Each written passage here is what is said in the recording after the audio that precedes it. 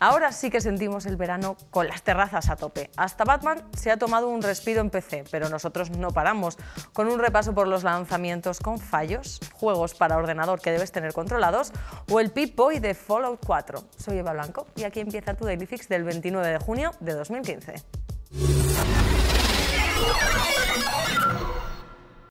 El lanzamiento de Batman Arkham Knight ha sido más accidentado de lo esperado, sobre todo en PC, donde los drivers especiales para la situación han llegado en el último momento y los parches no han estado a la altura. Incluso con las primeras actualizaciones, también en consolas, aún vemos que el juego está un poco verde con personajes que no responden a nuestras acciones y esos gráficos que no convencen a los usuarios de ordenadores de gama alta.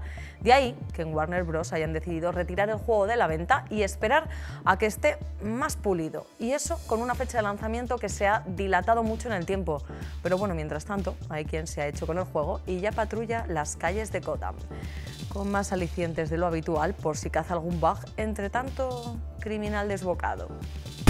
Hemos hecho una lista con 16 exclusivas para PC o más o menos exclusivos que no debes perder de vista, por originales, impactantes, graciosos o meritorios en alguno de sus aspectos, porque los juegos para ordenador tienen algo que no siempre llega a los de consolas. Llamémosle desparpajo como yo, o sencillamente que no es necesario pagar royalties a los fabricantes del hardware, ni pasar controles de todos los colores.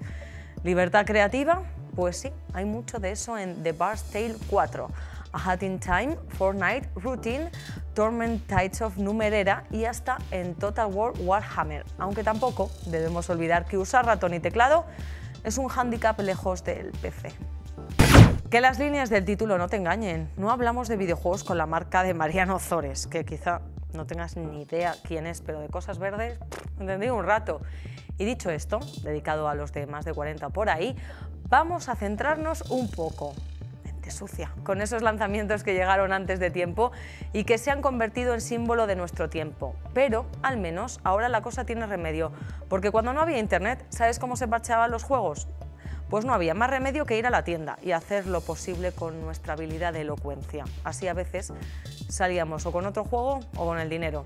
Amenazar al dependiente con tener que pasarse el juego hasta el décimo nivel, que era donde se colgaba, pues solía funcionar. ¿Nunca te ha pasado?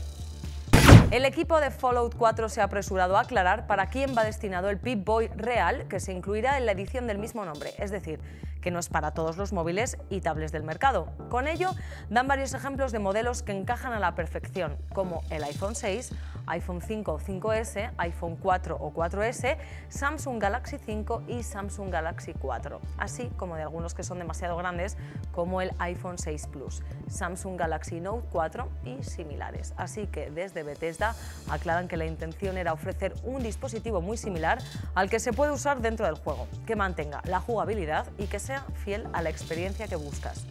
Vamos, que si tu phablet no cabe en el bolsillo del vaquero sin sobresalir, pues busca otro para adaptar tu Pip-Boy. Todo esto suena raro, raro, ¿verdad? Emoción no le falta al mundo de los videojuegos dentro y fuera de la pantalla. ¿Eh, Pip-Boy? No vas a negárnoslo, ¿verdad? Hasta que ha llegado tu Daily Fix de hoy. Recuerda que puedes ver muchos más vídeos en IGN España en nuestro canal de YouTube y con las apps gratuitas para PS4 y Xbox One.